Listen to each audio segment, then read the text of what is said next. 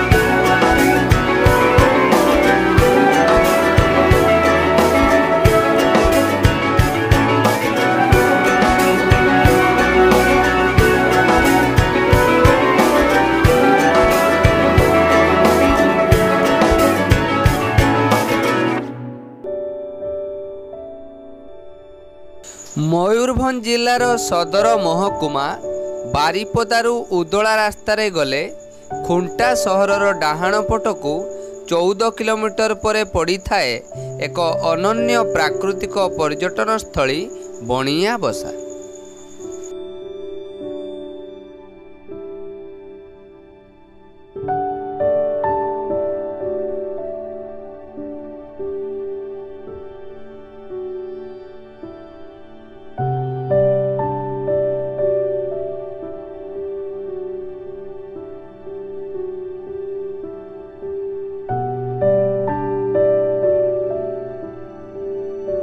ପ୍ରକୃତିର ଅନନ୍ୟ ସୁନ୍ଦରତାରେ ଭରା ଏହି ସ୍ଥାନଟି ବେଶ୍ ଅନୁପମ। ଚତୁର୍ଦିଗରେ ପରିବ୍ୟାପ୍ତ ସବୁଜ ବନାନୀ ନଭଶ୍ଚୁମ୍ବୀ ପର୍ବତ ସୁନ୍ଦର ପ୍ରସ୍ତର ଶଯ୍ୟା ଓ ଗୁରୁଗମ୍ଭୀର ନାଦରେ ବହି ଆସୁଥିବା ପାହାଡ଼ି ଝରଣା ସତେକି ମନ୍ତ୍ରମୁଗ୍ଧ କରିଦିଏ ଏଠାକୁ ବୁଲି ଆସୁଥିବା ପ୍ରକୃତି ପ୍ରେମୀ ଓ ପର୍ଯ୍ୟଟକଙ୍କୁ। ବିଶେଷତଃ ବର୍ଷା ଦିନେ ଏହି ସ୍ଥାନଟିର ସୁନ୍ଦରତା ବହୁଗୁଣିତ ହୋଇଉଠେ।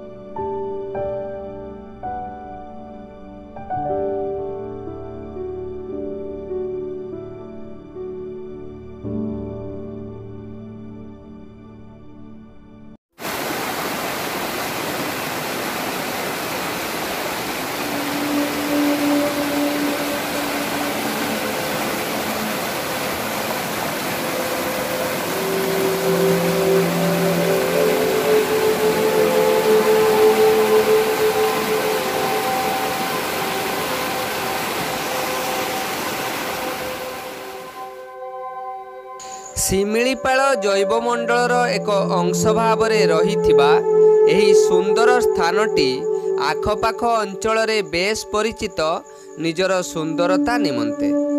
ବଣଭୋଜି ଋତୁରେ ଏଠାରେ ଭିଡ଼ ଜମାଇଥାନ୍ତି ଅସଂଖ୍ୟ ପର୍ଯ୍ୟଟକ ଓ ପ୍ରକୃତି ପ୍ରେମୀ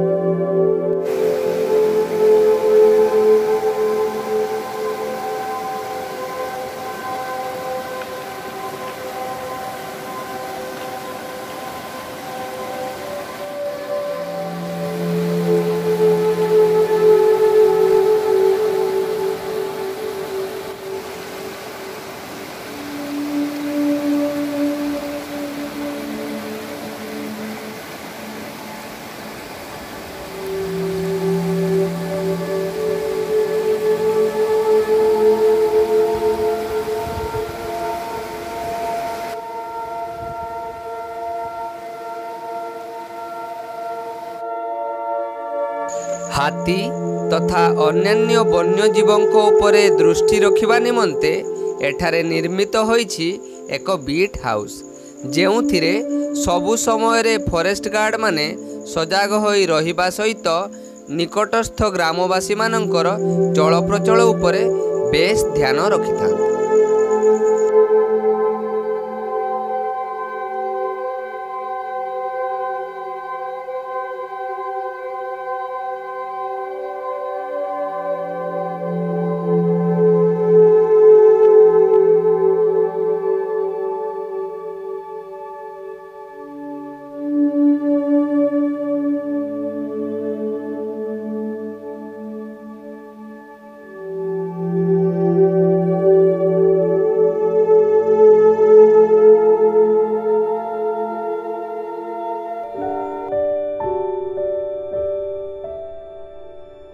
ଏଠାକୁ ବୁଲି ଆସିବାର ପ୍ରକୃଷ୍ଟ ସମୟ ହେଉଛି ନଭେମ୍ବର ମାସରୁ ମାର୍ଚ୍ଚ ମାସ।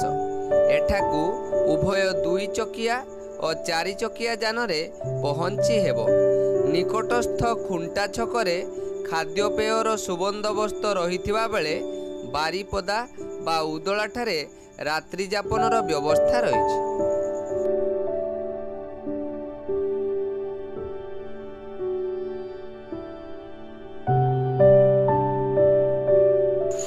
ତେବେ ଆପଣ ବି ନିଶ୍ଚୟ ଥରେ ବୁଲିବାକୁ ଆସନ୍ତୁ ନା ଏହି ସୁନ୍ଦର ପ୍ରାକୃତିକ ପର୍ଯ୍ୟଟନ ସ୍ଥଳୀ ବଣିଆବସାକୁ।